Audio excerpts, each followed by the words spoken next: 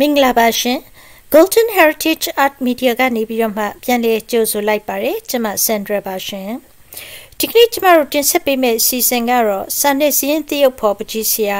မောင်နေကြီးနဲ့တွေ့ဆုံဆွေးနွေးခြင်းပဲဖြစ်ပါတယ်စာရေးဆရာလည်းဖြစ်တဲ့ karate အကစားသမားတူလည်းဖြစ်တဲ့ စနေစင်းတရုတ်ဖော်ပကြီးဆရာသမားတူလည်းဖြစ်တဲ့ဆရာမောင်နေကြီးမှာဘဝအတွေ့အကြုံတွေဟာများစွာရှိပါတယ်။ထူးခြားတဲ့ဆရာရဲ့တင်ပြမှုလေးတစ်ခုကတော့ဆရာကကရာတေကစားသူဖြစ်တဲ့အတွက်သူကကရာတေအကစားနည်းပညာဟာဖြင့်ပကြီးပညာရက်နဲ့တနည်းတစ်ဖုံအခြေခံအဖြစ်ဆက်နွယ်မှုဆက်သွယ်မှုပတ်သက်မှုလေးရှိတယ်ဆိုပြီးတော့မှရှင်းပြသွားပါတယ်ရှင်။အင်တာမှလည်းစိတ်ဝင်စားစရာကောင်းပါတယ် ဒီကနေ့အစီအစဉ်ကလေးကိုဆိုရင်တော့တရစ်တေးဆိုရေးစေးပညာရှင်မာရီယာအီဆာကနေပြီးတော့မှစီစဉ်တင်ဆက်ပေးထားတာပဲဖြစ်ပါရဲ့ရှင်ပချီဆီယမောင်နေကြီးဟာဆိုရင်ဖြင့်1986ခုနှစ်မှာဇာဟီဆရာကြီးကောက်လှိုင်းရဲ့ဖိမကူညီပေးပံ့ပိုးမှုနဲ့မဂ္ဂဇင်းတရုတ်ဖော်စတင်ရေးဆွဲခဲ့ပါတယ်။ယနေ့ထက်တိုင်လည်းပဲတရုတ်ဖော်ပကြီးဆရာဘဝစာပေရေးသားခြင်းစသည်တို့ဖြင့်ရည်တည်လျက်ရှိပါတယ် တစ်ဖက်ကလည်းပကြီကားများကိုရေးဆွဲပြီးတော့မှပြပွဲပေါင်းများစွာမှာပြသခဲ့သူဖြစ်ပါတယ်ပကံမွေနှစ်ပကြီပြပွဲမှာတင်တဲ့ပကြီကားကိုဆိုရင်တော့အမျိုးသားပြတိုက်ကနေဝယ်ယူစုဆောင်သွားခဲ့ပါရရှင်သူကမှဆရာဦးအောင်ခင်ထမအလုတ်တင်တစ်ဖက်အဖြစ်နဲ့လေ၃နှစ်ကျော်လောက်ကင်ခဲ့သူဖြစ်ပါတယ်မဂ္ဂဇင်းပေါင်း၁၈အုပ်ကိုဒီဇိုင်းနဲ့ပကြီတာဝန်ခံဖြစ်ဆောင်ရွက်ခဲ့ပါတယ် မှင်ရင်းဒီကိုတော့ဆရာကြီးဦးစန်းလှိုင်နဲ့ဆရာကြီးဦးသားအောင်တို့ထံနေတင်ယူခဲ့တယ်လို့ဆရာကပြောပြပါရဲ့ရှင်။တရုတ်ဖော်ပကြီးဟာယနေ့အထိခမမ်ပုံပေါင်း600ကျော်အထိရေးဆွဲခဲ့ပြီးဖြစ်ပြီးထပ်ပြောမှလည်းဆက်လက်ရေးဆွဲနေစေပါလို့ဆရာကပြောပါတယ်။မျက်နှာဖုံးပကြီးအနေနဲ့ကတော့ပကြီးပေါင်းပုံ100ကျော်ရေးဆွဲခဲ့ပြီးဖြစ်တယ်လို့ဆရာကပြောပြပါရဲ့ရှင်။ဆရာရဲ့လက်ရပကြီးကမ်းများကိုကျမတို့ ကောက်နှုတ်ပြီးတော့မှတင်ပြထားပါတယ်မဂ္ဂဇင်းတရုတ်ဖော်ပုံများဟာဆိုလို့ရှိရင်ဖြင့်အတွေးခေါ်ကောင်းလေးတွေနဲ့အင်တမစိတ်ဝင်စားစရာကောင်းတယ်ဆိုတာကိုလည်းတွေ့ရှိကြမှာဖြစ်ပါရဲ့ရှင်ဆရာရဲ့ဘဝမှာပြောစရာမောစရာအချိန်ကြီးများရှိပါသလားလို့မေးကြည့်တဲ့အခါကျတော့ဆရာကနေပြီးတော့မှပချီကားရောင်းရရင်ပျော်ရွှင်တယ်ပချီကားမရောင်းရပဲအိမ်ပြန် တဲ့အချိန်လမ်းစိတ်မရှိရင်တော့ရင်မောပါတယ်လို့ရေပွဲဖွဲ့ပြီးတော့ပြောခဲ့ပူပါတယ်ရှင်ပချီရင်းနေချိန်ဟာသူ့ဘဝမှာပျော်ဆုံးဖြစ်ပြီးတော့ပချီမရေးပဲမနေနိုင်တာပတ်စံရရမရရပချီရင်းနေရမှသာလျှင်အဆင်ပြေတယ်လို့သူကပြောပြပါတယ် NLD အစိုးရတက်လာတဲ့အချိန်ကျမှတံပိုးနဲ့တိုက်ခန်းတစ်ခုကိုအရစ်ကျငွေသွင်းစနစ်နဲ့ပိုင်ဆိုင်ခွင့်ရရှိခဲ့သူဖြစ်ပါတယ်လို့လည်းပွင့်ပွင့်လင်းလင်းပြောပြပါတယ်ရှင်။ စာကလေးအိမ်ကိုမိမိငှားနေသမျှအိမ်တိုင်းချိတ်ဆွဲပြီးတော့မှကုသိုလ်ပြုပြီးတော့အိုးပိုင်အိမ်ပိုင်နေနိုင်ဖို့အတွက်တောင်းဆွချွေဘူးတယ်လို့လည်းဆရာကမချွမချန်လေးပြောပြခဲ့ပါရရှင်။ဒေါအောင်ဆန်းစုကြည်ရဲ့ပုံပေါ်ရိုသေလေးစားသမှုနဲ့1988ခုနှစ်ကတည်းကစတင်ရေးဆွဲခဲ့ပြီးတော့မှယနေ့ထိဆိုရင်တော့ပုံပေါင်းများစွာရေးဆွဲနေရဆဲဖြစ်တယ်ရေးဆွဲခဲ့တဲ့ပုံပေါင်းကလည်း40တောင်ကျော်ခဲ့ပြီလို့လည်းပြောပြပါရရှင်။ အဆင်ပြေတာကိုဖော်ပြပြီးတော့မပြေတာတွေကိုမထင်လဲရပါတယ်လို့ဆရာကလည်းပြောပြပါတယ်ကျမကတော့ဆရာမကွဲမခွဲအိတ်သွန်ဖတ်မှောက်ရိုးရိုးစင်စင်ဖြေဆိုထားတာတွေအားလုံးကိုပြန်လဲပြီးတော့မှတင်ပြပေးလိုက်ပါတယ်ရှင်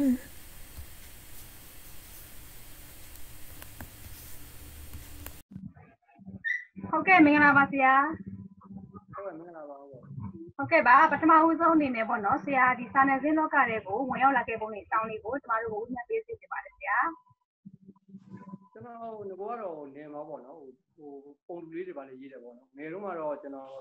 ဟိုပိုရုပ်ရှင်ပို့စာရေးတာပေါ့နော်ကျွန်တော်မျိုးကရုပ်ရှင်လေးပါရေးတယ်အဲကျွန်တော်ပေါင်းတဲ့ဇာတိပေါ့နော်ပေါင်းတဲ့ဇာတိရောက်စာရေးတဲ့ပြီးဆရာဥကောက်လိုင်းပေါ့နော်စာရေးဆရာကောက်လိုင်းနဲ့ကျွန်တော်ရင်းနှီးပါတယ်ရင်းနှီးပါတော့သူကရန်ကုန်ကိုကျွန်တော်ကိုခေါ်လာတာပေါ့နော် သူကဆက်သွယ်ပြီးပြီးတော့ကျွန်တော်အဲ့ဒါရောင်းရောင်းကျွန်တော်ရောက်လာရောက်ပြီးတော့မှကျွန်တော်စာစင်းလောကရဲ့သူ့ဘောကိုဒီဖြစ်တာပါသူ့ရဲ့ကုညီဆောင်မမှုနဲ့ပေါ့အဓိကတော့ကျွန်တော်ပထမဆုံးတော့ပကြီးဘူးကျောင်းသွားတက်ရကျွန်တော်84 85 86မှာကျွန်တော်တက်တယ်တက်ပြီးကျွန်တော်ဆင်းလဲဆင်းရောကျွန်တော်ကျွန်တော်အတမ်းမဲ့ဆရာဆရာဥပ္ပန္နမျိုးတယ်ကျွန်တော်ငကိုစတက်တွေကကျွန်တော်ကဟိုပါပေါ့နော်ဟိုဟာပေါ့စာနယ်ဇင်းပကြီးကိုကျွန်တော်အားကြတယ်လေကျွန်တော်တို့ခေတ်တော်မှာဟိုစာနယ်ဇင်းရဲ့ပကြီးကား ရဲ့တဲတဲပွဲမရှိသေးဘူးကျွန်တော်ခေတ်တော်မှာလေနေမာနေရဲ့လူတွေကဘာအဓိကအားပြုရလဲဆိုစာအုပ်တွေကိုအားပြုရတယ်အဲစာအုပ်တွေကိုအားပြုတဲ့ခါကျတော့ကျွန်တော်စာအုပ်ထဲမှာပါတဲ့သေဖို့ပုံမျိုးကိုကျွန်တော်တို့ကပကြီးတို့ကျွန်တော်တို့ကယူရတယ်ပေါ့နော်အဲ့တော့မှကျွန်တော်မက်ဇင်းတွေပါတွေးတောက်တို့စန္ဒာတို့နော်တိုင်းမျိုးမြောက်တွေမှာပါတဲ့ဆရာဦးဝင်းဝင်တို့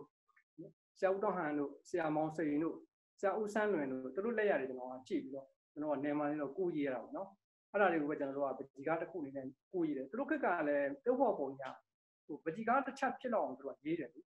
ဒါအားဆိုင်ရေးတယ်အဲ့ကျွန်တော်တို့ရဲ့စံနေရဘယ်လိုဖြစ်လဲဆိုတော့ဒီစံနေစင်းပကြီးဆရာကိုပဲကျွန်တော်အားကြခဲ့ပြီပကြီးပြပွဲရဲ့ဒီ package လို့မရှိခဲ့ဘူးမရှိဘူးတနစ်ပတ်လုံးနေမှာပကြီးဘူးအစီအုံးကြအတင်းလုံးကျပြပွဲတော့ဒီလောက်ပဲရှိတယ်လေဒီလိုပြပွဲတွေမရှိခဲ့ကျွန်တော်စံနေစင်းပကြီးကထိတ်မှအញ្ញရောက်အဲ့ကျွန်တော်စံနေစင်းပကြီးဆရာတွေပဲကျွန်တော်အားကြအားကြတော့အဲ့ကိုကြီးကိုကြီးအဲ့လိုပေါ့နော်နေရတယ်ပြီးတော့ကျွန်တော်နောက်ကြတော့ဆရာဥပ္ပလိုင်းနဲ့ကျွန်တော်ရင်းနှီးသွားတယ်ရင်းနှီးသွားတော့သူကရန်ကုန်သူက ခေါ်လာတာပေါ့ကျွန်တော်ခေါ်လာတော့ကျွန်တော်ကပကြီးကားရေးတဲ့ခါလဲကျတော့ဟိုကျောင်းမှာတော့မှတော့ဆရာဥပ္ပလိုင်းလေးတိုင်းမေကိုရေးနေတယ်ကျွန်တော်မြင်ဘူးတယ်သူကျွန်တော်တို့ရေးပြတယ်ပေါ့နော်ဒါပေမဲ့ပကြီးကားနဲ့မယ်စင်ရေးတဲ့ခါကျတော့အရန်ကွဲပြားတယ်မယ်စင်စရေးတော့ဒုက္ခအရောက်တယ်ကျွန်တော်တို့ကပကြီးကားရေးသလိုနော်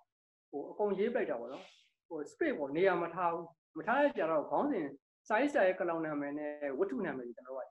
ရေးဖို့နေရာမရှိတော့အကုန်လုံးအပြည့်ကျက်ရေးကြလိုက်တာပေါ့အဲ့တော့ magazine ပကြီးက ပကြီးကားနဲ့ဘာကွာလဲဆိုတော့ तू က၄ယောက်ညစကားပြောတယ် conversation ပေါ့နော်အထားသူဖွဲ့စည်းမှုက तू ကနံပါတ်1မှာသွားရှိ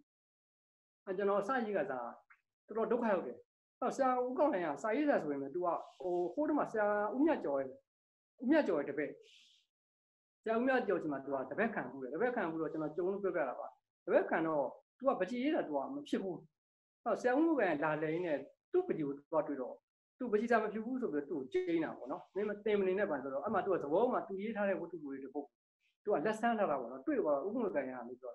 အဲ့ဝတ္ထုလေးကိုမြောက်ရီသွားပို့လိုက်ပါလားဆိုပြီးပြလိုက်တော့အဲ့မှာသူကြော့တဲ့ဝတ္ထုလေးနဲ့သူစာပေလောကကိုရောက်သွားတယ်ဟိုအလိုလိုပေါ့နော်တစ်ခါကျတော့လမ်းကြောင်းတွေလူတွေမှာလွဲတာရှိတယ်သူကပကြီးတင်တယ်ဒါပေမဲ့တခုတော့ရှိတယ်သူကဥမြတ်ကျော်တပည့်ဖြစ်နေတဲ့ခါကျတော့ဘယ်လိုပဲဖြစ်ဖြစ်စင်ပင်ကျွဲလောက်ပေါ့နော်အဲ့လိုကြံလို့နော်တကယ်ဆရာကြီးနေခဲ့ဥပ္ပကန်လုံးနဲ့လည်းသူကနေခဲ့တဲ့ခါကျတော့ ပကြီးရဲ့သဘောပေါက်နားလေဥပ္ပကန်လုံးဘာလို့ဆိုတာလဲတကယ်တမ်းပြောမှဆိုရင်ကျွန်တော်တို့သူကလည်း commercial သမားတွေပဲကျွန်တော်တို့ဟုတ်ခဲ့မှာတော့လေပကြီးကားနဲ့တွဲရေးတာပေါ့နော်ဒါပေမဲ့ဒီကြော်ညာဒီဇိုင်းတွေဘာတွေသူအတော်များများရေးခဲ့တယ်ရေးခဲ့တယ်ဒီခါကျသူကအဲ့ဒါလေးနဲ့သူကလာတဲ့ခါကျတော့ကျွန်တော်ကအဲ့ဟိုကျွန်တော်မိသားစုအနေထားကလည်းနည်းနည်းချိုးတဲ့တယ်လေကျွန်တော်ကျောင်းဆက်တက်တယ်ကျွန်တော် commercial ကိုကြိုက်တယ်ယူတော့ကျွန်တော်အဲ့လိုရေးတယ်နောက်ဆရာကျွန်တော်ရေးတဲ့ပုံတွေဟိုဆရာကောင်းတဲ့ကပြင်ပေးတယ်ပေါ့နော် ကျွန်တော်ကအုံလျှောက်ရေးတာပေါ့နော်ပြောဖို့ပုံရေးဆိုဥပမာချောင်းထဲမှာအဝတ်ဖွင့်နေတဲ့ဟိုမိမတယောက်အတင်းပြောနေတာမျိုးရေးမယ်ဆိုရင်ကျွန်တော်ကအဲချောင်းကိုရေးတယ်အပေါ်ကတထားကိုရေးတယ်ဇာတ်ဘောဖြတ်သွားတယ်ထားကိုပါထည့်ရေးတယ်နောက်သဲပုံလေးတွေကိုရေးတယ်အဲ့တော့အဲ့ပုံကိုဆရာကောင်းတဲ့ကကြည့်ပြီးတော့ကျွန်တော်ဟိုပြန်တိဖြတ်တာပေါ့နော်သင်ပေးတယ်ကျွန်တော်ကပြောဖို့ပုံမကြီးရေးဆိုအဲ့လိုရေးလို့မရဘူးတဲ့နော်မင်းကငါဥမာပြောမှာကွာစက်ကမှာဂျိုကာဂျိုကာတွေပဲမြင်မြင်ဘူးတယ်မလားတဲ့အဲဟုတ်ကဲ့ကျွန်တော်မြင်ဘူးပါဆိုတော့အဲဂျိုကာကဘောနော်ဟိုသူက ဟိုသူများတွေလို့သူကဂျွန်ဆက်ပတ်15ပတ်သူထိုးပြလာမှာမဟုတ်ဘူးတဲ့ကောင်းမွေပေါ်မှာသူကဂျွန်တစ်ပတ်ပဲထိုးပြလိုက်ဘာကြောင့်တစ်ပတ်ထိုးဒါပေမဲ့သူကမျက်စိမှိတ်ပြတယ်ရှာထုတ်ပြတယ်စာရင်းပကြီးဆိုတာလဲပေါ့နော်အဲ့ဒီလိုအတက်ပညာလိုရဲတဲ့ကိုလိုချင်တဲ့ point ကိုဆွတ်ထုတ်ပြီးတော့ရေးနေတယ်တဲ့ဆိုကျွန်တော်ကတင်ပေးတယ်တင်ပြီးတော့မှကျွန်တော်အဲ့လိုစူးစမ်းရေးတော့ရေးနေစာရင်းပကြီးရေးတတ်တာအဲသူကကျွန်တော်ဘာလို့လဲဆိုတော့သူပြန်မယ်စိမ့်တိုင်မှာသူကတောင်းခံအရီယာပြသူနဲ့ကျွန်တော်တွေကဒီသူအရီယာမဖြစ်ခင်ပေါ့နော် အဲ့ဘောကတည်းကကျွန်တော်ရင်းနေတယ်ရန်ရင်းနေတယ်ရင်းနေတော့ကျွန်တော်အိမ်မှာလည်းသူသွားရလားကျွန်တော်သူ့အိမ်စံကြောင်းမှရှိတယ်ဘလို့ဟိုသူ့ခမေလန်းထဲမှာရှိတယ်သူ့အိမ်ကိုကျွန်တော်သွားတယ်ဝင်ထွက်တယ်သူ့မိသားစုတွေနဲ့ဒါရင်းနေတယ်အဲ့လိုဝင်ထွက်သွားလာတဲ့ခါကျကျွန်တော်ကဒီစာပေသမားတွေနဲ့အရန်ရင်းနေတယ်ရင်းနေတဲ့ခါကျတော့သူနဲ့ဆက်နွယ်တဲ့စာပေလောကစာရေးဆရာတွေစာရေးဆရာကြီးတွေနောက်ပြီးတော့ရုပ်ရှင်လောကသူကရုပ်ရှင်စံညွှန်းတွေလည်းရေးတယ်ရုပ်ရှင်လည်းဒိုက်တာလည်းလုပ်ရိုက်ခဲ့ပြီးတော့အဲ့လိုတွေနဲ့ရင်းနေတဲ့ခါကျတော့ကျွန်တော်က ဟိုးတွေကကျွန်တော်ကဒီစာနယ်ဇင်းလောကရဲ့ပုံနေနဲ့သူနဲ့အဲ့လိုထိတွေ့မှုကျွန်တော်ရှိကျွန်တော်တို့ကမိသားစုလိုနေတာပေါ့နော်နောက်သူရောင်းမှာကျွန်တော်ဒီကြားထဲမှာကျွန်တော်ကြိုကြားကြည့်အောင်ဝင်ရေးစာနယ်ထိုးပေါက်တော့ရေးလို့မရဘူးဘာလို့ဆိုတော့ကျွန်တော်တို့ကတည်းကဝင်တိုးရတာတွေကတကယ်ဒိတ်ဒိတ်ကျဲတယ်ကျွန်တော်ပုံနဲ့ပြောတာမဆိုကျွန်တော်ရှေ့မှာဟိုအနေဆုံးကဆရာဦးကျော်တောင်းလို့ဥမမောင်တိုက်တို့ဦးမျိုးမြင့်တို့ဟိုဟိုဟိုဟာဟိုကျွန်တော်တို့ပါဟိုမောင်ကျော်ညွန့်တို့အဲ့လိုလူမျိုးတွေပေါ့နော်ကျွန်တော်ဘလို့မှကျွန်တော်တိုးလို့မရ ဘူးတိုးလို့မရတော့အရန်တော့ဟုတ်တယ်အရန်လဲစူးစမ်းရတယ်စူးစမ်းရတဲ့ခါကျတော့အကျွန်တော်တို့စအတော်ဟိုခေါင်းစည်းလေးတွေပေါ့နော်ကျွန်တော်တို့အဲ့ဒီကသနာလို့ပေါ့နော်ကြမ်းပြောလို့ဆိုခေါင်းစည်းလေးတွေရေးခိုင်းတယ်ခေါင်းစည်းဆိုတော့ကကျွန်တော်တို့ရေးလိုက်တဲ့စာပေကြီးတွေ့တဲ့အပေါ်မှာကျွန်တော်ရေးလိုက်တယ်ပေါ့နော်ရှစ်လက်မ6လက်မလောက်ရှစ်စာရေးသူကရေးပြီးတယ်သူကခေါင်းတိတစ်ခါကျတော့သူကဘယ်လောက်ရှိလဲဆိုတော့တက်လက်မပတ်လဲတော့ပဲရှိပြီလို့နှစ်လက်မလောက်ဖြစ်ရင်လည်းပြတ်သွားတယ်တေးလေးပဲပါလာအဲ့လိုအဲ့ရလေးကိုကျွန်တော်ကဘယ်လောက်လုံးနဲ့ရိုက်တယ်ရိုက်တော့အဲ့ဒါလေးကျွန်တော်တို့ပါလာအဲ့ဒီတေးသေးပေါ်ပေါ်လေးကိုပဲကြည့်ပြီးကျွန်တော်တို့က ဒီနေ့နောက်တော့မှတဖြည်းဖြည်းနဲ့သူတရားနော်တရားနေမှာနေရအောင်ဟိုမျက်နှာပြေအဲ့လိုတဖြည်းဖြည်းပေါ့နော်မျက်နှာပြေပြီးတော့မှခွာပေါ်အဲ့လိုအပ်ပြီးအဲ့လိုတဖြည်းဖြည်းအတော့မှကျွန်တော်တို့ကနောက်တော့မှရောင်းစိုးမှအသေးဘူးကျွန်တော်တို့ဖြူမဲပေါ့နော်ဟိုဖြူမဲတွေကျွန်တော်တို့အပ်တယ်အဲ့ဟိုတရားစွဲတွေပေါ့နော်မိုနိုတုံးတွေရေးရနောက်တော့မှကျွန်တော်တို့အယောင်တွေပိုင်းနဲ့ကျွန်တော်တို့ရေးဝင်ရသူကဟိုနောက်ပိုင်းကျတော့သူကဘာဖြစ်သွားလဲဆိုတော့သူ့ကိုစစ်ပြန်မယ်စင်းတိုက်ကနေပြီးတော့အဒီတာဖြစ်ပေါ့နော်တာဝန်အဒီတာဖြစ် ဟိုစကိုင်းပြည်ညိုဆိုတဲ့သူ့ရဲ့ဆရာကြီးဟိုမှာဆရာပြုတ်တဲ့ဆရာတဲ့ကပြန်ခေါ်ခေါ်တော့သူအဲ့မှာတာဝန်အဒီတာလုပ်တယ်လုပ်တော့သူကကျွန်တော်ကိုချက်ချင်းပဲပြောခေါ်တယ်သူကလောက်ခန့်တဲ့နေ့မှာပဲကျွန်တော်ကိုမက်ဆင်းတိုက်ကိုပြန်ခေါ်တယ်ပြန်ခေါ်ပြီးတော့ကျွန်တော်တို့ဘုတ်ကိုစအပ်တာပေါ့နော်စာပြီးတော့ကကျွန်တော်မှစရောက်သွားအဲ့တော့ကျွန်တော်ကဘယ်လိုလုပ်လဲဆိုတော့ကျွန်တော်အမေကဘဘိုးမှာပေါ့နော်မကျမ်းမှာကျွန်တော်အခုလက်နဲ့နေတဲ့အချိန်ဖြစ်နေတော့ကျွန်တော်တွားလိုက်ပြန်လိုက်လုပ်နေတာစာမူယူလိုက်တယ်ဘဘိုးပြန်တော့လည်းပြန်ရေးတယ်ကျွန်တော်လက်ဗန်းမှာကျွန်တော်စာတီးရောက်လက်ဗန်းပေါ့နော်ဒါပေမဲ့လက်ဗန်းမှာနေတော့ကျွန်တော်က ဟိုတိတ်အဆင်မပြေဘူးကျွန်တော်ဘိုးရောက်တဲ့အခါကျတော့မှကျွန်တော်ဆရာတန်းခေါ်တော့ကျွန်တော်ရန်ကုန်ရောက်လာရောက်လဲရောက်လာမှသူကကျွန်တော်ကိုစာမူပေးတယ်ကျွန်တော်ကရေးတယ်ပြီးတော့ဘိုးကနေရန်ကုန်ကိုကျွန်တော်ဟိုဟာလေးနဲ့ဟိုမှာဒိုင်နာပေါ့နော်ဒိုင်နာလေးစီးပြီးကျွန်တော်လာပို့ပဲအဲ့လိုခောက်တော့ခောက်ပြန်ကျွန်တော်တွားတော့တော့နောက်ကျွန်တော်ပြောပြတယ်အေးအောင်နဲ့မင်းရေကူးကျင်တဲ့လူပါတဲ့ကျွန်တော်ဆရာကောင်းလိုက်တာပြောတယ်မင်းရေထဲမှာနေမှရေကူးတတ်တယ်တဲ့နော်နော်ရေထဲမှာမနေစမြကလည်းတော့ရေမကူးတတ်ဘူးဒါပေမဲ့စာရင်းပတိဆရာဖြစ်ချင်ရင် မင်းရန်ကုန်လောကကိုမင်းလိုပဲဖြစ်ဖြစ်နော်ရန်ကုန်လည်းကိုမင်းရောက်စာပေလောကကိုမင်းရောက်လို့ရန်ကုန်ကိုမင်းအတင်းရောက်ရောက်မင်းလာရမယ်နော်မင်းနေနိုင်အောင်ကြိုးစားချစ်ချောက်ကြိုးစားဖြစ်ချင်တာဆိုလို့စိတ်ကိုမင်းဆုံးဖြတ်ရမယ်ကျွန်တော်ပြောသူတို့အားနဲ့ကျွန်တော်အခုကနေတော့ရန်ကုန်ထွက်လာတယ်ကျွန်တော်ဝိရတဲ့ကိုကိုပေါ့နော်ဘာမှတော့မပါပါဘူးစောက်တက်ရတော့အဲ့ဒီစာတိကျုပ်ကတောင်းတဲ့ဖုန်းကြီးဆိုင်ကြတယ်တော်တော်လေးသဘောမနှောလေးပြေဝနော်ကျွန်တော်ကသူကတော်တော်အများကြီးပန့်ပိုးတယ်အဲ့နဲ့သူကကျွန်တော်ကိုကြံဖန်ပြီးတော့နော်သူတို့မက်ဆေ့တိုက်မှာက ဟိုကျွန်တော်ကိုပေးမဲ့ຢာတူမျိုးလေအလုံးမျိုးမရှိဘူးအစင်းဆက်မရှိဘူးအဘာလဲဆိုတော့ညဆောင်ဆိုပြီးတော့ကျွန်တော်လေကျွန်တော်နေဖို့ပါရအောင်ဆိုပြီးကျွန်တော်အဲ့ဒီမှာစာအုပ်တိုက်မှာကျွန်တော်ညဆောင်ခန့်လိုက်ညဆောင်ခန့်လာကျွန်တော်မှလာသာ9ရက်နဲ့ကျွန်တော်ညဆောင်ထုတ်လိုက်တာပေါ့နော်ညဆောင်လုပ်ပြီးတော့ကျွန်တော်အဲ့မှာနေတယ်နောက်တော့ကျွန်တော်ဟိုသူ့စာအုပ်ကပုံနေတဲ့ကျွန်တော်အပ်တယ်နော်ကျွန်တော်ဦးစားပေးပြီးတော့အပ်တယ်ဆရာနောက်ကကျွန်တော်ဆရာတည်းဖြစ်ရင်နော်ဒီမှာအတောင်ငန်းအဒီတာဆရာမောင်ဝင်းနန်းပေါ့နော်ဆရာမောင်ဝင်းနန်းတို့ဆရာကောက်လိုင်းတို့နောက်ခုနကကျွန်တော်ပြောတဲ့ဆရာပေါင်းတဲ့ဖုန်းကြီးတို့ကနေကျွန်တော် ဟိုတာသမီးလိုပေါ့နော်ကျွန်တော်အပ်တယ်သူတို့ကသမင်းရစာကျွန်တော်ကိုကျွေးထားတယ်ကျွန်တော်အဲ့မှာအကုန်လုံးပေါ့နော်ဘယ်နည်းတိုင်းမှာကျွန်တော်အကြီးဆရာတို့မဟုတ်ဘူးပေါ့နော်ကျွန်တော်အောက်ခြေလေးလုပ်လုပ်ပေးခဲ့လုပ်ပေးခဲ့ပြီးကျွန်တော်အဲ့မှာရေးတာပေါ့နော်အဲ့တော့သူကပတ်စံလေးဟိုအဲ့ဒီမှာနာမည်ကလည်းမရသေးတော့တခြားတိုက်တယ်ကျွန်တော်ဖတ်တာမရှိဘူးလိုက်တောင်းလို့လည်းမရဘူးလေညတဲ့ခါကျတော့ကျွန်တော်ကသူကဘာလို့လဲကျွန်တော်ပုံလေးဆက်မှာပေါ့နော်ပုံလေးဆက်မှာကျွန်တော်ပထမပိုင်းမှာတော့ကျွန်တော်ကပုံလေးဆက်မှာမရသေးဘူးအဲ့တော့မှသူကစရောက်ကကြတော့သူကခက်စလုံးနေလေ စာစီတဲ့ခက်စလုံးခက်ဆိုတော့ဒီကျွန်တော်တို့ကဟိုအလုပ်ကျွန်တော်တို့ကအလုပ်ကခက်ခဲတယ်လေဒီဆက်မှာတွန်းဖို့တော့မဖြစ်နိုင်ဘူးလေဒါလို့ဆက်တင်နေရိုက်နေတာကျွန်တော်ဘာမှမရနောက်တော့ offset တစ်လုံးသူတွန်းလဲတွန်းလိုက်ပေါ့ကျွန်တော်ကသူကဆက်နောက်ကြည့်ဆိုပြီးခန့်ပေးလိုက်ခန့်ပြီးတော့ကျွန်တော်ကအဲပုံလေးဆက်မှာကျွန်တော်ကဆက်နောက်ကြည့်ပေါ့နော်သူတော့တွဲတင်ပြီးတော့ဆက်နောက်ကြည့်လို့ကိုင်းနေနောက် offset ကိုကျွန်တော်တယောက်နှစ်ယောက်လောက်ထိကျွန်တော်ရိုက်ခတ်ပြီးပါတယ်အဲ့လိုလုပ်တော့လေစောက်တိုက်မှာပဲကျွန်တော်နေကျွန်တော်စောက်တိုက်မှာနေတော့ဘာအကျိုးများထွက်လဲဆိုတော့ဟိုပါပေါ့နော် ဟိုမွင်းပကြီးစရာတွေလက်ရတယ်တိဖို့ပကြီးစရာတွေလက်ရညကြရင်သဘောမှာအဲ့ဒီဒါတွေကအိမ်ပြန်သွားတယ်ပေါ့နော်ကျွန်တော်ကရုံးမတယောက်တည်းကြံခဲ့တာဆိုတော့ဒီသပွဲတွေပေါ်မှာမွင်းပကြီးကတွေအဲ့ဒီဒါထပ်ခဲ့တာအဲ့မှာဆရာဦးတောင်းဟန်တို့ပကြီးအောင်ဆိုးတို့ပကြီးဦးဝင်တို့ကဲဒိတ်ကျဲဆရာကြီးတွေလက်ရတယ်အမအပေါ်အပြည့်ကျွန်တော်မွင်းကိုမြည်ဘူးအဲ့မှာကျွန်တော်ပါလဲဆိုပညာအရန်ရရပေါ့နော်သူတို့ရေးတာတချို့ဟာဆိုခက်တာလေးနဲ့ပဲရေးတာကျွန်တော်တွေ့တယ်။ဒါပေမဲ့ဟိုမှာပုံနေတဲ့ခါကျတော့တအားကောင်းတယ်။ ဟောသူတို့တင်ထားတဲ့အယောင်တွေပေါ့နော်။အပြင်မှာကြည့်တော့ဒါကဘလိုကြီးရောအထင်တယ်။ဒါပေမဲ့ပုံနဲ့ပုံနဲ့ကိုအဲ့ဒီအယောင်များအရန်ကောင်းတယ်။သူကပုံနဲ့ပညာနဲ့သူကအယောင်ပညာနဲ့ပေါ့နော်။တွဲပြီးသူကလောက်ရတဲ့အလုပ်မျိုးဖြစ်တယ်။သူကရိုးရိုးပကြီးကားလိုမျိုးပေါ့။သူကသိတယ်မလား။ပုံနေတဲ့ခါကျတော့စင့်ခံသွားတယ်ပေါ့နော်။ဘလုံးကဒီလိုကွန်ပျူတာကိုမရှိဘူးလက်ခွဲတွေခွဲတဲ့ခါကျတော့လက်ခွဲနဲ့ခွဲတဲ့ခါကျတော့ဒီရေသွေးမိဖို့တော့ခက်တယ်။ခက်တော့အယောင်တွေကိုတွက်ပြီးတော့ရေးရတယ်အဲ့တော့ဘလောက်တုံးနေနဲ့ခွဲတာကြီးရှိတယ်ဟို line လေးဆိုဘလောက်နဲ့ခွဲတာပေါ့နော် ဘယ်တော့မှ30နဲ့ကျွန်တော်တို့နှစ်ငန်းလိုပါလို့ဇင်ရေးလိုပါလို့ဇင်လိုပါရှိတယ်အဲ့တော့ကျွန်တော်ဒီဘလောက်တုံးနေဆိုတာကျွန်တော်တိုက်မှာကျွန်တော်ပဲတော့အပ်ပေးရတယ်ကျွန်တော်ပဲယူပေးရတယ်အဲ့တော့အဲ့တိုက်မှာကျွန်တော်နေတာပေါ့နောက်တော့ကျွန်တော်အဲ့တိုက်ကနေပြီးတော့ဘယ်လိုဖြစ်လာလဲဆိုတော့ရုပ်ရှင်မျက်မှန်ကဆရာမောင်ရွှေစွန်ပေါ့နော်သူကနေကျွန်တော်ခေါ်လိုက်တယ်ကျွန်တော်လက်ရအောင်သဘောကျတယ်ကျွန်တော်အဲ့ဒါနဲ့အပြင်လောကကိုထွက်သွားရုပ်ရှင်မျက်မှန်ရောက်သွားအဲ့တိုက်ကနေကျွန်တော်ဟိုနောင်ရလွတ်သွားတာပေါ့နော်ကျွန်တော်အဲ့ဒီကိုရောက်သွားလို့ရှိရင်မှရောက်တော့ကျွန်တော်နောက်ကျတော့ဟို ကျွန်တော်တို့ဟိုပါပေါ့ဟိုမမောင်ပြုံးစွာကျွန်တော်အထောက်တော်လောက်အောင်တကယ်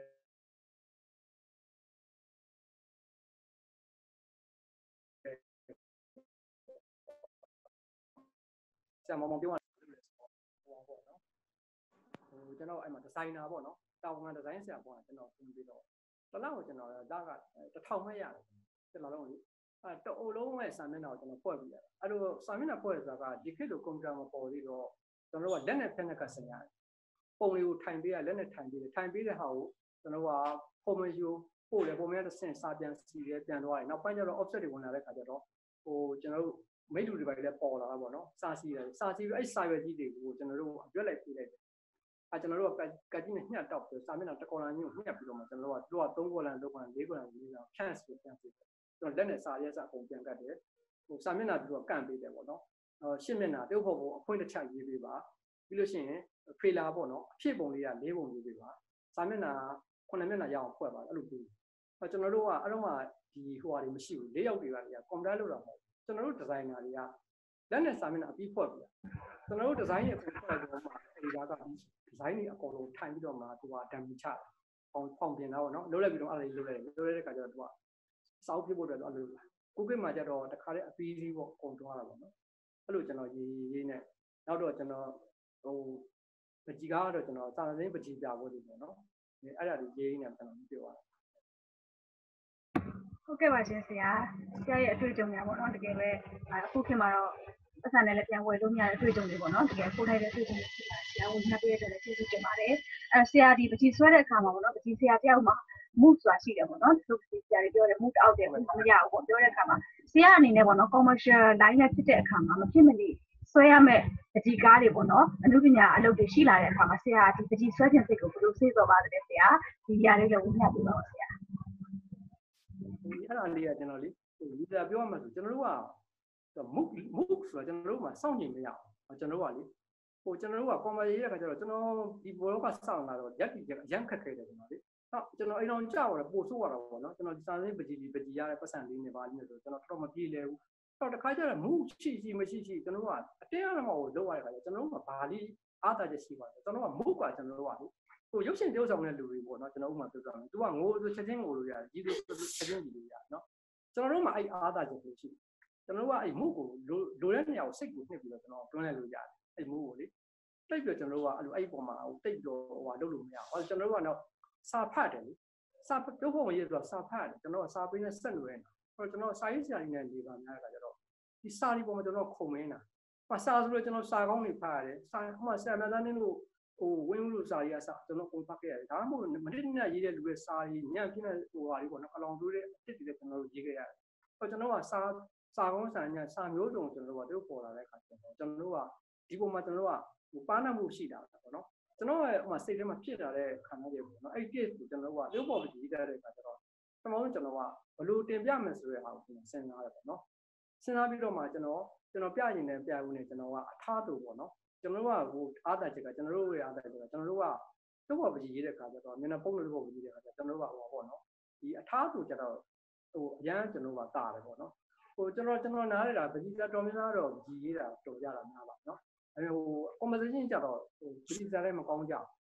ဟိုအဲ့ဒါဘာလဲဆိုတော့ကျွန်တော်မြင်တာဟို design နဲ့ပဲဆိုင်ဖြစ်တာဟိုသူတို့က design ကပကြီးနဲ့ဟိုမပတ်သက်ဘူးလို့သူကသတ်မှတ်နေဟောပကြီးအောင်ဆိုးလို့ပါလို့ပေါ့နော်ကြပြတော့မဟုတ်ဘူးလေနော်သူကပြရဲ့ပေါ်စည်းပုံကြီးကဒီ design နဲ့သူပေါ်စည်းသွားတာပေါ့နော်ထားတို့လေအဲ့လေးယောက်တွေပေါ်စည်းသွားတာအဲ့ဒီဟာလေးနဲ့ပေါ်စည်းတွေကကြတော့ဒီစမ်းတက်မှုတွေတော့ရတယ်ဒီကအထားတို့အဲ့ဒီအထားတို့လေးတွေကိုနိုင်ရင်းနဲ့ရလို့ခါကြတော့ ဟိုတွေးတဲ့အတွေးရလဲကိုတွေးနေတဲ့နေရာကိုရောက်ဖို့အတွက်ခုနကပြုတ်ဖို့ဝင်နေလို့ပေါ့နော်ကျွန်တော်ကသူကချိန်မပေးဘူးခါကျညနေမှလာပြီးနောက်မှမနေ့ကဆက်နေရောက်လာပြီးတာတော့မရှိအဲ့တော့ကျွန်တော်ဒီစာကိုဖတ်လိုက်တယ်အဲ့တော့ကျွန်တော်ဒီပုံမှာမှုအများကြီးဝင်လို့မရအောင်ကျွန်တော်တို့ဟိုဟိုဟာလို့ကျွန်တော်ဟို criteria အနေနဲ့ပြောလို့ဆိုအပုံပေါ့နော်ကျွန်တော်တစ်ချက်ကောင်းလေးကိုကျွန်တော်စဉ်းစားအဲ့ဒီအပုံနည်းနဲ့ကျွန်တော်ကစဉ်းစားရခါကျတော့ကျွန်တော်ကအဲ့ဘယ်ဟာကိုကျွန်တော်ဆွတ်ထုတ်အောင်ပဲပေါ့နော် top point ပေါ့နော်အဲ့လိုဆွတ်ထုတ်တဲ့အတက်ပြန်အောင်ကျွန်တော်ရတယ် ပကြီးတချို့ကျွန်တော်ဟိုမိတ်ဆွေပေါင်းတယ်ခါကျွန်တော်စဉ်းစားကြည့်တယ်ပေါ့နော်သူတို့ရှောက်ချက်သွားတယ်ပကြီးကားကြီးကိုစိတ်ကူးမရလို့ပေါ့နော်စိတ်ကူးမရလို့တဲ့ဘာရမသိလို့ဘယ်လိုပေါ့နော်တိုက်ရှာနေတယ်ပေါ့နော်ဒီတွေးနေပါတယ်ကျွန်တော်စဉ်းစားကြည့်ကျွန်တော်တို့ကြာတော့လေဟိုဟာဖြစ်လို့ပြောတော့လည်းမဟုတ်ပါဘူးကျွန်တော်တို့မှာဘာရေးရမလဲဆိုတဲ့ဟာကကျွန်တော်တို့မှာအများနဲ့အဆင်ပြေရှိကျွန်တော်တို့မလုံနိုင်တာပဲရှိတယ်ကျွန်တော်ပုံနဲ့ပြောပြအောင်လေခုကျွန်တော် message ရေးတယ်ကျွန်တော်ဗကြီးဟားတွေအားရေးနေတယ်ကျွန်တော်နောက်မှဆိုပိတ်အများကြီးပဲကျွန်တော်ထောင်ထားတယ်ကျွန် တော်မရေးနိုင်ဘူးအဲ့ဒါလေးနော် message လုပ်နေပြီတော့နော်အဲ့ဒီပကြီးကားရေးနေတဲ့စိတ်ကကျွန်တော်ရင်ထဲမှာအကုန်လုံးကဟိုပါပေါ့နော်အထက်မှာတိတ်ထားတာအများကြီးအဲ့ကျွန်တော်ဘာလုပ်လဲဆိုတော့ကျွန်တော်ကစာနဲ့စာပေးနဲ့လိုက်လို့ပြောဆိုကျွန်တော်စာလေးနဲ့ကျွန်တော်မှတ်တယ်ဘယ်အကြောင်းအရာကိုရေးမလဲဘယ်လိုဖော်ပြမလဲနော်ဘယ်လိုတွေးမယ်ဆိုတာလေးကျွန်တော်ပကြီးကားတစ်ချက်မပြေကြမှာကျွန်တော်အဲ့ဒါလေးကြည့်လိုက်ရေးပြီးကျွန်တော် sketch လေးကျွန်တော်ထုတ်ကြည့် ထုတ်ကြည့်တော့ချုပ် sketch တွေကျတော့ကျွန်တော်တကယ်သဘာဝတရားနဲ့လိုအပ်တဲ့ခိုင်ကျွန်တော်အဝင်ရဲစဉ်ရိုက်တယ်ကျွန်တော်အချက်လက်ရှာပြန်ရှာတယ်အဲ့ဒါတွေအကုန်လုံးရှာပို့ပြီးတော့မှကျွန်တော်ပြရင်တဲ့ပုံစံလေးကျွန်တော်လုပ်တယ်ဟုတ်ကဲ့ပါဆရာဆရာဒီဟိုဆရာရဲ့စာရေးဆရာဘဝအတွေ့အကြုံနဲ့အတူပေါ့နော်ဆရာရဲ့ဒီစာပေထုတ်ရခြင်းဒီရွယ်တဲ့နဲ့အတူဆရာခံယူထားတဲ့စာပေတမိုးလေးကိုလည်းညှိပြပါဦးဗျာ ကျွန်တော်ကစာရေးစာစာရေးတာတော့ကျွန်တော်ခုနပြောလို့ပေါ့နော်ကျွန်တော်ကဘလို့ဖြစ်လာလဲဆိုတော့လေဟိုကျွဲကူးရေပါလို့ဖြစ်နေတယ်လားကျွန်တော်ဆရာတွေကစာရေးဆရာတွေရှင်းစာရေးဆရာဖြစ်တော့ကျွန်တော်ရှေ့မှာသူထိုင်ရေးနာမည်ဝတ္ထုတွေကျွန်တော်ဘေးမှာနေထိုင်ရေးတယ်ဥပမာဆရာကောင်လာနဲ့ကျွန်တော်လည်းဆိုရင်ဂိတပေသာစာအုပ်တိုက်ပေါ့နော်ပထမတာမွေမှာရှိတယ်အဲ့စာအုပ်တိုက်မှာဆိုသူနဲ့ကျွန်တော်လည်းနေတယ်ရမုံနာဥပုဟန်ဆိုတာပိုင်ရှင်ပေါ့နော်ကျွန်တော်တို့နေဖို့အတွက်ကိုအဲ့ခန်းလေးတစ်ခန်းသူပေးထားတယ်ကျွန်တော်အဲ့မှာပဲနေတယ်နေကျွန်တော်ဘေးမှာနေသူစာရေးတယ်ဆရာကောင်လည်း သူတကယ်ကိုနာမည်ကြီးဝတ္ထုတွေကျွန်တော်ဘေးမှာထိုင်ပြီးတယ်နော်တစ်ခါဆိုသူသူကဗဒန်းနဲ့ရုပ်ပေးတယ်ကျွန်တော်လက်လက်ရေးပေးရရေးပေးရအဲ့လိုမျိုးတွေပေါ့နော်နောက်ကျွန်တော်စစ်တမ်းဝဲတဲ့နေတော့ခါကျတော့သူ့အလုပ်တွေကျွန်တော်ဝင်ကူရတယ်ပရုပြင်တာပေါ့နော်ပရုဆိုဟိုပါပေါ့နော်ဝတ္ထုတွေကပေါ့နော်သူကဟိုလေးမျက်နှာပေးမဲ့ဟာမျိုးသူကအများကြီးရေးထားတယ်ပေါ့နော်တိဖြတ်တာပေါ့နော်အဲ့တိဖြတ်တဲ့ပညာအရင်အရန်ကိုအံ့ဩဖို့ကောင်းတယ်ဘာကြောင့်လဲဆိုတော့ဒီမူလအစာရေးလူရဲ့ဟိုအာဘောပေါ့နော်သူ့ဟိုအာဘောလည်းမပြစ်အောင်နော်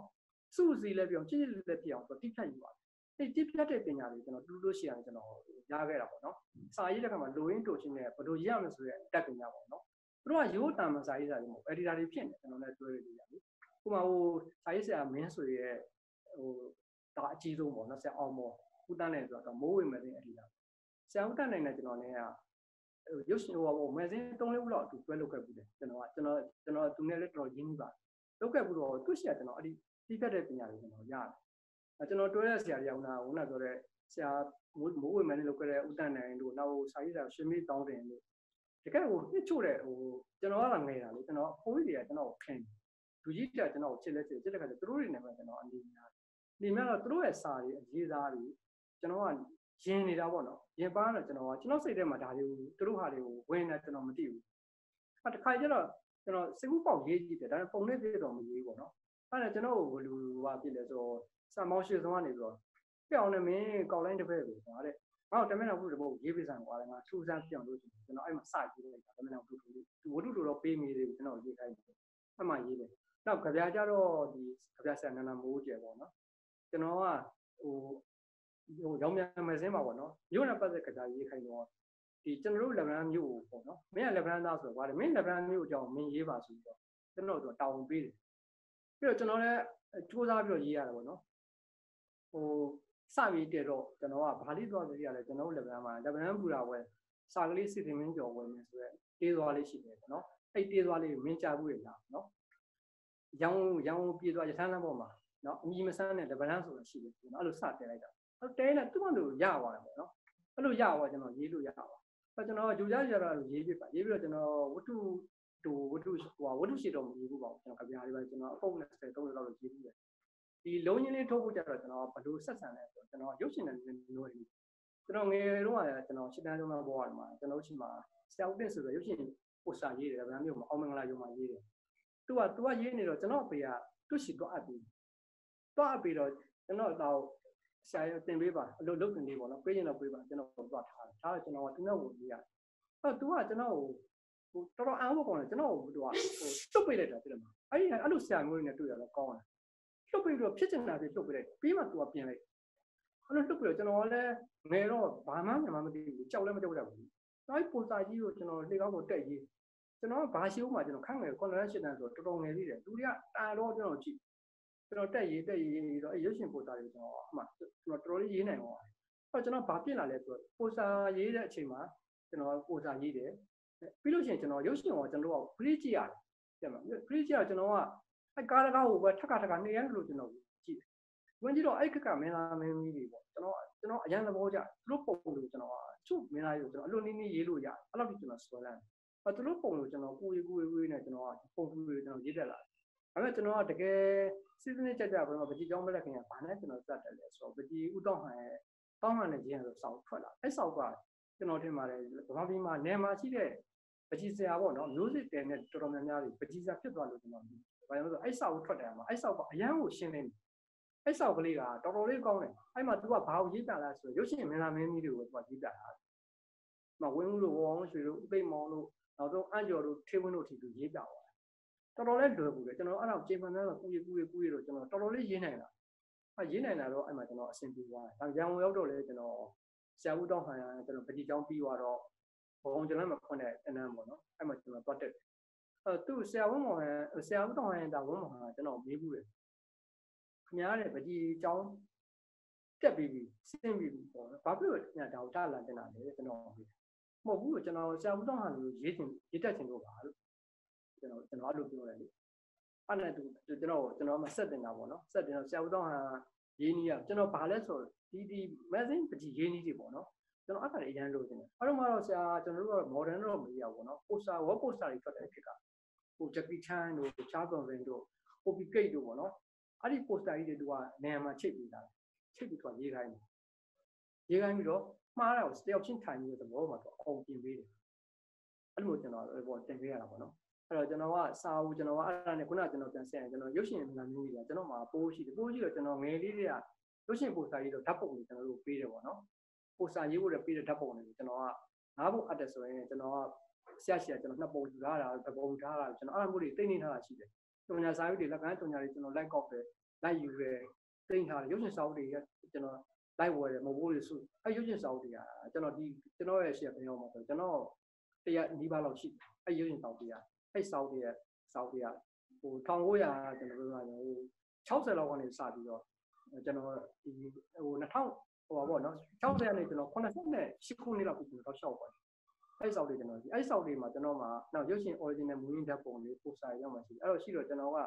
ဒီမင်းသားမင်းကြီးတွေကျွန်တော်ဒီကကြည့်ဘူးတယ်တေချာလဲကျွန်တော်လည်းသဘောကျတာကျတော့သူတို့တွေကအရန်တော်တယ်ပေါ့နော်သူတို့ရဲ့ဟိုဟာဒီခေတ်လိုမျိုးသူတို့မင်းသားလွယ်လွယ်ကူသူတို့ဖြစ်လာတာဒါလေးကိုကျွန်တော်ကဒီလူတွေသိတဲ့ခြင်းနဲ့စိတ်ကလေးကျွန်တော်ပေါ်ပေါ်တော့ကျွန်တော်ဒီလုံကြီးလေးကိုကျွန်တော်လေရှုကကန်တော်မင်းသားမင်းကြီးများဆိုတဲ့စာအုပ်ပေါ့နံပါတ်1ကျွန်တော်စယူတယ်အဲ့စာအုပ်မှာဘယ်လိုပါလဲဆိုတော့ဟိုမင်းသားခမောင်နေပေါ့နော် မင်းသားခမောင်ရင်တော့ပြီးလို့ရှိရင်ကြော်ဆွေပါတယ်ရွှေဘပါတယ်ရွှေဘပါတယ်ပြီးလို့ college နေဝင်ဝင်းဦးမြတ်လေးဇော်ခင်ညုံဝင်းဆိုးရှိမင်းသမီးတက်ဆိုရင်မိမခင်ဟိုကြည်ကြည်သေးခင်ယူလေခင်တန်းလို့ပေါ့နော်ကျွန်တော်အဲ့ဒါရေးလိုက်ပြီးတော့အဲ့ဆောက်လေးကတော်တော်အဆင်ပြေသွားတယ်အဲ့ဒီဆောက်ကျတော့ကျွန်တော်ကအဓိကစာအနေနဲ့စာအနေနဲ့ကျွန်တော်ကဘာကိုပြောနေလို့လဲဆိုတော့ကျွန်တော်စူဆောင်းထားတဲ့ရုပ်ရှင်ပိုစတာဒီဇိုင်းတွေပေါ့နော် အဲ့ဒါကြီးကျွန်တော်မြင်စေချင်တယ်ဟိုတုန်းကဖက်ညက်ကလုပ်ထားတဲ့ဆရာအောင်တန်းတဲ့တို့နော်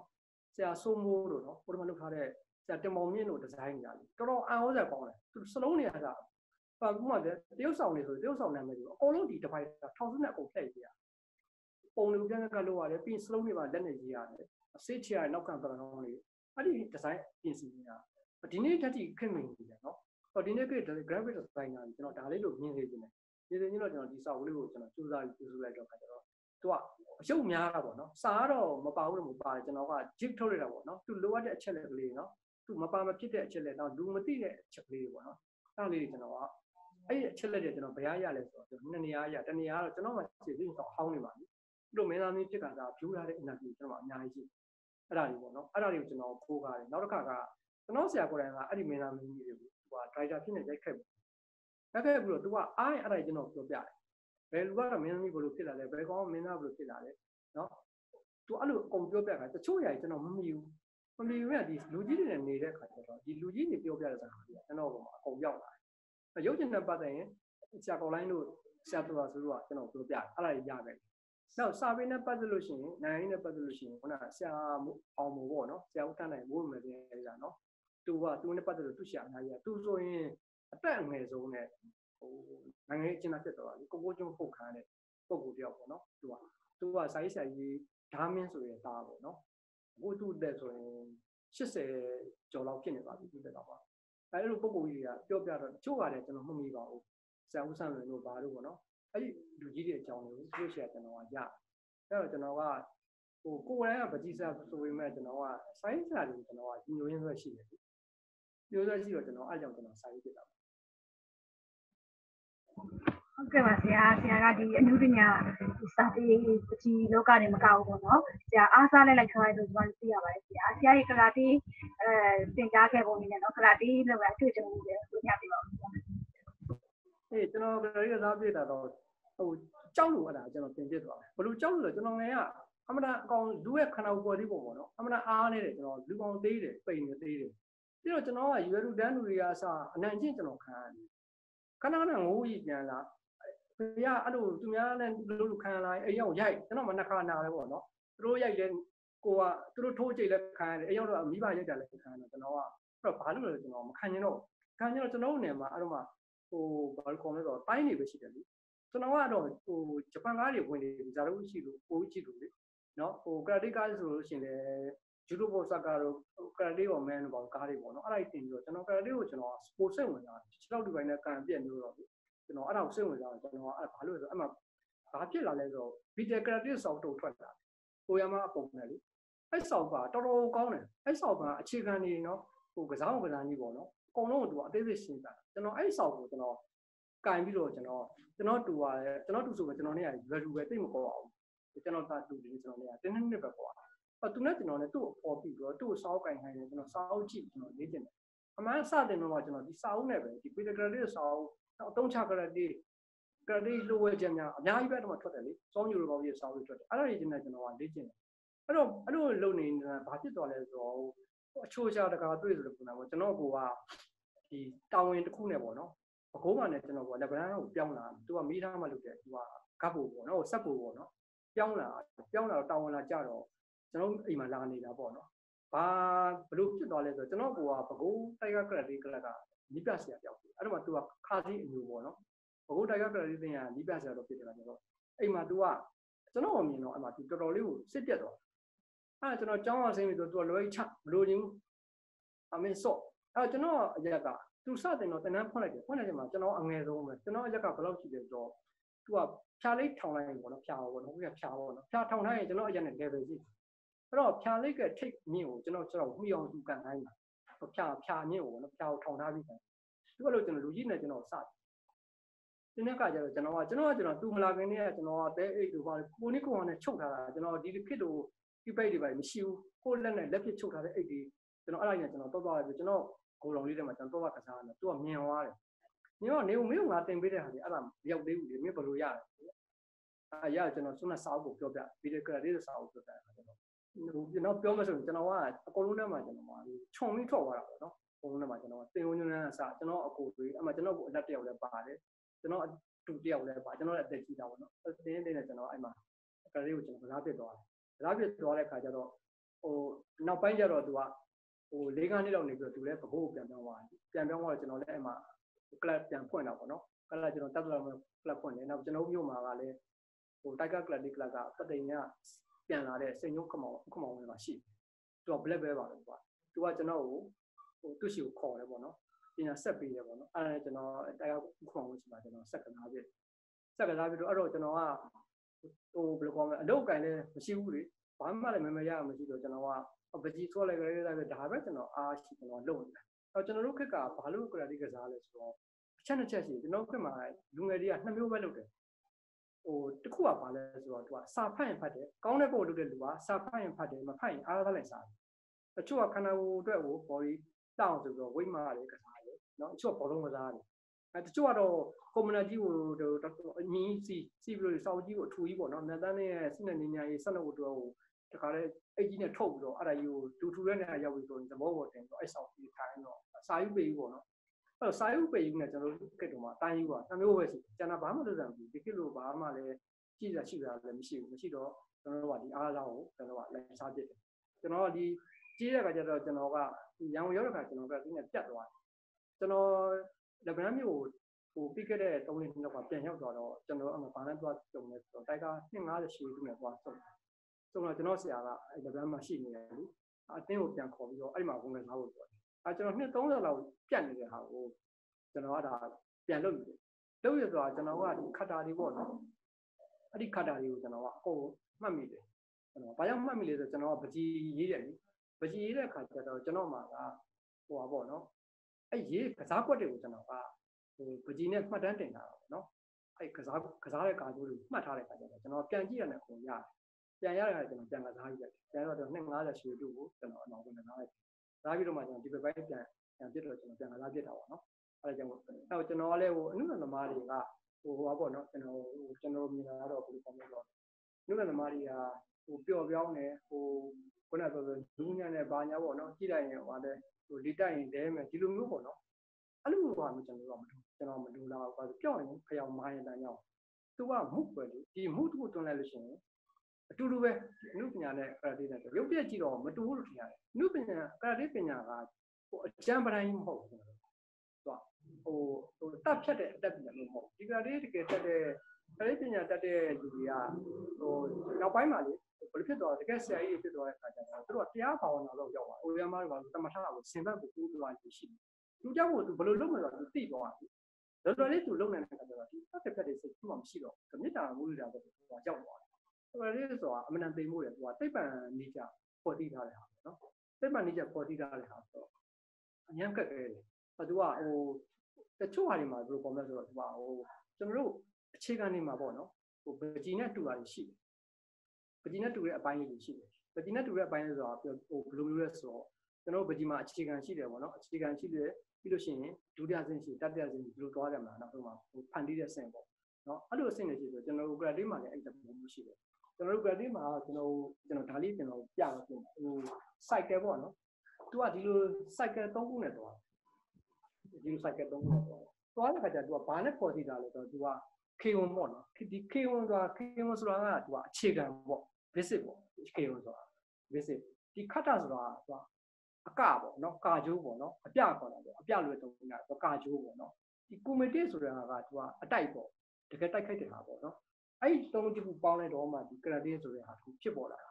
အဲကျွန်တော်မကြည့်လဲဒီတိုင်းပဲကျွန်တော်မြင်တာပဲဘယ်လိုလဲမှာကျွန်တော်ဒီခေဝန်ပေါ့အခြေခံပေါ့နော်ကျွန်တော်အခြေခံလိုတယ်နော် basic ပေါ့နော်ပုံမြင်းဘယ်လိုဆွဲရမလဲမြင်းဝိုင်းဘယ်လိုမြင်းကောက်ဘယ်လိုပြီးလဲစောက်ဝိုင်းဘယ်လိုဝိုင်းရမလဲနော်အဲ့အခြေခံလိုတယ်နော်အဲ့လိုပဲဒီခတ်တာဆိုတာကကျွန်တော်တို့ကကာဂျိုးပေါ့နော်အဲကျွန်တော်ကဘယ်လိုဟိုဖွဲ့စည်းမလဲနော်ဘယ်လိုတော့ကောင်းအောင်ကြည့်ကောင်းပကြီးကောင်းထားမယ်ဆိုတာခတ်တာဖို့ကြည့်တာနော်ခင်ဗျာကဒီတိုက်ခိုက်တဲ့ပုံတွေနောက်တိုက်ခိုက်တဲ့ဆိုတာဟာပေါ့ကြာနောက်ဆုံးအပိသက်တော့ ဒီပကြီးကောင်းပေါ်မှာလက်ဆက်တက်တာပကြီးကောင်းတစ်ချက်ကိုပြီးဖြတ်ဖို့ဆိုတာကသူကဒီဒီဟိုကွန်မတီလိုပဲဒီဟောတော့ဒီနောက်ဆုံးအပိသက်သူကလုံနိုင်ဖို့လိုတယ်လေအဲ့လိုမလုံနိုင်လို့ရှိရင်သူကနောက်ဆုံးမှာသူကဖြတ်လို့မရတော့ပုံဖြတ်တဲ့နေရာမှာငကားရေးသမားကပြောပြဆိုတော့ခုနကရဲတင်းတာပေါ့နော်တူဝေမနေဘူးပေါ့နော်ဟိုပုံတစ်ခုကိုပြတ်ပတ်သွားတယ်သူကဟိုလက်ရဲစင်နဲ့သူကရေးရတယ်ပေါ့နော်တုံလုံးရင်နဲ့သိမရှိတော့ဘူးပေါ့နော်အဲ့ဒီဟာလေးကတော့ ဒီအခြေပညာမှာသူကလာပြီးအကျိုးပေးတယ်တန်လေးကအကျိုးရှိတယ်ပေါ့နော်တန်လေးကဟုတ်ကဲ့ပါဆရာဆရာဒီကနေ့ထိပေါ့နော်ဆက်တန်းလာတဲ့ဒီဘဝကန္တာတွေပါပေါ့နော်ဆရာအနှစ်သက်ဆုံးဘဝကန္တာလေးရှိနေဝင်ရပေးပါပြီးတော့ဆရာအသက်တာမှာပေါ့နော်မမေ့နိုင်ဆရာကြည်နူးဆရာပဲဖြစ်ဖြစ်ပေါ့နော်စိတ်မကောင်းဖြစ်ဆရာပဲမမေ့နိုင်ကြဖြစ်ဖြစ်မရှိဘူးဝင်ရပေးပါဦးဆရာအဲ့အဲ့ဒါကဘယ်လိုကြည်နူးဆရာရှိလဲဆိုတော့ကျွန်တော်က စာလသင်းပကြီးဆရာတွေကျွန်တော်ကဟိုပွင့်နေလို့အရှင်လက်လက်မြင်ဘူးကျင်တာကျွန်တော်စာအုပ်တန်းမှာပဲမြင်ဘူးခဲ့တာလက်ရတွေပဲမြင်ဘူးလူတွေကျွန်တော်မမြင်ဘူးသူတို့ဓာတ်ပုံလို့ကျွန်တော်ရှာတယ်ပို့တယ်စုတယ်ကျွန်တော်ရန်ကုန်လည်းရောက်ရောက်ကိုအဲ့အဲ့ဆရာကော်လိုနဲ့ပတ်သက်ပြီးကျွန်တော်ဆိုင်အဲ့ပကြီးဆရာတွေကိုကျွန်တော်အရှင်လက်လက်မြင်ဘူးအဲ့မှာကျွန်တော်ဘလို့မှကျွန်တော်အဲ့အဲ့ဒီနမှုကဘာနဲ့မှမလုပ်ဘူး။ဘာကျွန်တော်စနေပြီးတော့ပတ်သက်တော့ကျောင်းပေါင်းလုံးနဲ့ကျွန်တော်ထိတွေ့ဝင်ရတဲ့အချိန်။နောက် ဆံမော်တိုက်အိမ်ကိုကျွန်တော်ပထမဆုံးရောက်တဲ့အချိန်နော်။ညနေဖုန်းသူရေးတဲ့အချိန်မှာကျွန်တော်ကရေကန်ပေါ့နော်။အတွင်းရေကန်ရေးခွင့်ရတယ်။သူနဲ့ကျွန်တော်နဲ့ဘဝသစ္စာမှာစာအုပ်တုတ်ကမှာသူကညနေဖုန်းရေးပြီးတော့ကျွန်တော်ရေကန်ရေးရတဲ့ဘဝကိုအဲ့လိုရောက်ခဲ့ပြီ။အဲ့ဒီအချိန်ကြီးကတော့ကျွန်တော်ဘဝမှာတော်တော်လေးကိုအမှားရတဲ့အချိန်ဘလုံးမှကျွန်တော်မေးလို့မရတဲ့ဟာမျိုး ဟုတ်ကဲ့ပါဆရာအခုနောက်ဆုံးအနေနဲ့ပေါ့နော်မိကုန်းကြီးကတော့အဲဆရာအနေနဲ့ပေါ့ဆရာရဲ့ interview ကိုကြည့်ရှုနေတယ်ပေါ့နော်ပရိသတ်တွေစာပေချစ်သူတွေဒီအမှုပညာချစ်သူတွေပြောတဲ့စကားလက်ဆောင်တွေကြားတယ်မှာဆရာကျွန်တော်ပြောရရင်ကျွန်တော်တို့ခင်မှာလို့အဲ့လိုခက်ခက်ခဲနေပေါ့နော်ဟိုရှားဖွေရတဲ့ခက်ခဲတဲ့ခက်ကြီးမှမဟုတ်ဘူးပေါ့နော်လိုချင်တာရှိလို့ရှိရင်နော်အင်တာနက်ထဲကိုရှာလိုက်မယ်နော်လွယ်လွယ်ကူတွားရှာမယ်ကိုလိုချင်တဲ့ပညာနော်အကုန်လုံးသူကဘာမှမလို့ရှာလို့ကိုလို့ရတယ် ကျွန်တော်တို့မှတော့စာအုပ်စာတမ်းတွေယူနော်အကုန်လုံးရှာဖွေပြီးကျွန်တော်တို့ကလောက်ရအကိုင်ရအစုဆောင်ကအများကြီးလောက်ရတယ်ပေါ့နော်ခုခေတ်မှာじゃအရန်လွယ်တယ်လွယ်တဲ့ခါကျတော့ခုနကတော့ဟိုလမ်းကြောင်းလေးတက်တော့ဘယ်လိုလဲကိုလိုချင်တဲ့ဟာလေးကိုဆွဲယူတက်မယ်ဆိုကျွန်တော်တို့လိုမျိုးခကြီးမရှိဘူးပေါ့နော်ကျွန်တော်ပြောနေတာကျွန်တော်တို့လိုမျိုးစံတော်ဝါသွားတဲ့ခါကျတော့ကျွန်တော်တို့မှာအဲ့လိုဟိုပါပေါ့နော်ခကြီးလမ်းကြောင်းကတော်နဲ့မရောက်ဘူးပေါ့နော်လမ်းကြောင်းမသိခါကျတော့သွားတယ်ခုခေတ်မှာကျွန်တော်လမ်းကြောင်းကပေါ်နေပြီဒီလိုနဲ့လက်ထမ်းမိတဲ့ဟာတွေကရမ်းများတယ်ဥပမာကျွန်တော်တို့တိရစ္ဆာန်တွေဘာတွေရေးမယ်ဆိုရင်ကျွန်တော်တို့က တိရစ္ဆာန်ပေါင်းဆိုရင်ဓာတ်ပုံကိုကျွန်တော်အုံစုပါတယ်ပန်းဆိုရင်ပန်းနဲ့ပတ်သက်တဲ့ဟာတွေအုံစုပါတယ်ကျွန်တော်ရေးမှာပေါ့ကာယထာဘာညာဆိုရင်အဲ့ရင်ယထာနဲ့ပတ်သက်တဲ့ပစ္စည်းတွေကိုကျွန်တော်ရေးလေညာတိကျွန်တော်စုကောင်းတာဒါမှသိဖို့ရေးတော့ကျွန်တော်ရေးလို့ရပါတယ်အဲ့လိုဘောသိဖို့တန်ခါကွန်ပျူတာအစနော်ဟိုစိုက်ကားသမားအဆုံးပေါ့နော်ကျွန်တော်ကရှားဖွေတာအဲ့ဒါတွေဘယ်လိုရှားလဲဆိုတော့ကျွန်တော်ဓာတ်ပုံရိုက်ရတယ်ကျွန်တော်စောက်ဆန်နေရှားတယ်ခုခေတ်မှာကျတော့ဒီကွန်ဖုန်းလေးကိုကလုတ်လေးနဲ့တည်းနဲ့တပ်ပုံလေးစလုံးလုံးနဲ့ဖန်အောင်ရိုက်တယ်နဲ့ Google မှာရှာလိုက်ရင်အလွယ်တကူထွက်ကြတာဟုတ်လားအဲ့ တော့ဒီကက်မှာကကျွန်တော်အဲ့ဒါလေးပေါ့နော်ဟိုကျွန်တော်ပြောရင်တော့ဒီဘက်ခက်ကတော့ကျွန်တော်ဟိုပါပေါ့နော်ဟိုညာနာစွမ်းအားတိုးတက်လာတော့မှန်ပဲလေဒါပေမဲ့ကျွန်တော်အားဝမ်းမှာပေါ့နော်ကာယနဲ့ပတ်သက်လို့ဒီမဲ့ကြီးတာတော်တော်အားနေသွားတယ်ကျွန်တော်အဲ့တော့သူတို့ဒီကာယလေးလည်းပြန်လုပ်စေချင်တယ်ပေါ့နော်ဒီကာယကာယနဲ့ပတ်သက်လို့ကြက်ခံလို့ပါပေါ့နော်သူကဘယ်လိုပဲဖြစ်ဖြစ်ဒီမဲ့တစ်ခုမှအရင်အရေးပါ